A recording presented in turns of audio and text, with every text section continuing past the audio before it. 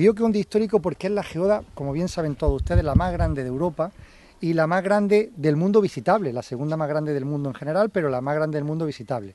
Esta geoda yo creo que es el primer paso de un largo recorrido que tenemos que hacer. La geoda tiene gran futuro patrimonial, gran futuro turístico y es un polo de atracción no solamente para la provincia de Almería, sino para España. Y por tanto estamos muy orgullosos que no exista una cosa igual en todo el mundo y que lo tenemos el privilegio de estar en la provincia de Almería. Va a poner mapa del turismo científico a la provincia de Almería, que ya sabéis vosotros que es un empeño por parte de esta Diputación, el, turismo científico, el turismo industrial, el turismo geológico, el geoturismo, que para nosotros eh, está siendo muy importante por el turismo de calidad que trae.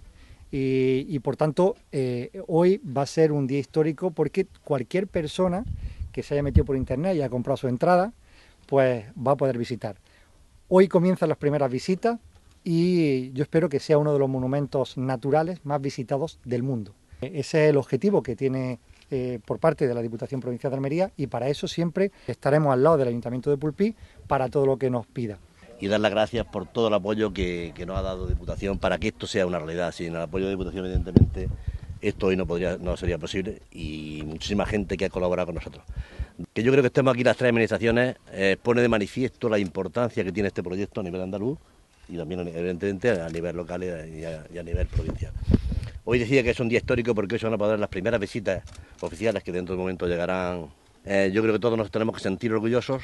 Este es el primer paso de un largo camino porque queda todavía mucho por hacer. Gracias a, vuestra iniciativa, gracias a la iniciativa de la Diputación Provincial de Almería que siempre está ahí poniendo, invirtiendo y creyendo en los, en los en los proyectos que hacen grande nuestra tierra y nada, vamos a poner nuestro granito de arena.